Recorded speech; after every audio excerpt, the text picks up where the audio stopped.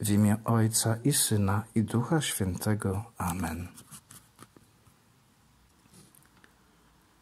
Dzień ósmy. O miłość do Kościoła.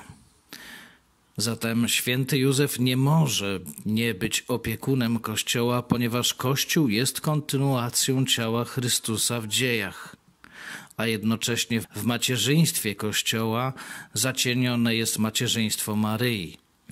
Józef, chroniąc Kościół, nieprzerwanie chroni dziecię i jego matkę, a także my, kochając Kościół, wciąż kochamy dziecię i jego matkę. Święty Józefie, Tobie zawieszam dziś Kościół i wszystkie jego obecne problemy.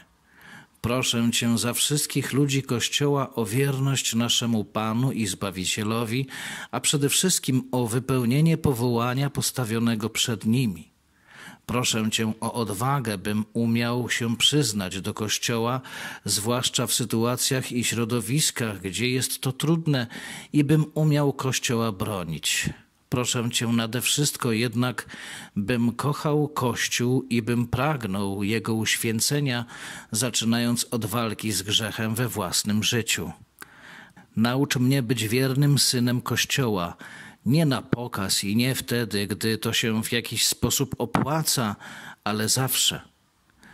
O miłość do Kościoła proszę Cię, święty Józefie. Modlitwa za ojczyznę za wstawiennictwem świętego Andrzeja Boboli.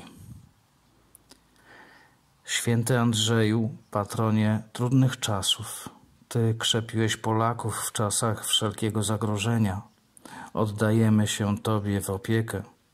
Pomagaj nam wytrwać pośród wszystkich doświadczeń osobistych i społecznych.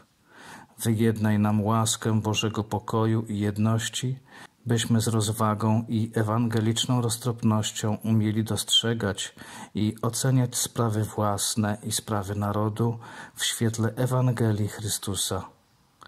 Uproś nam odwagę działania, byśmy nie trwali w bezradności wobec zła, które nie ustaje. Niech nas napełnia Boża radość, gdy zwyciężamy albo ponosimy porażki. Święty Andrzeju Bobolo, oręduj za nami u Pana. Amen. W imię Ojca i Syna i Ducha Świętego. Amen.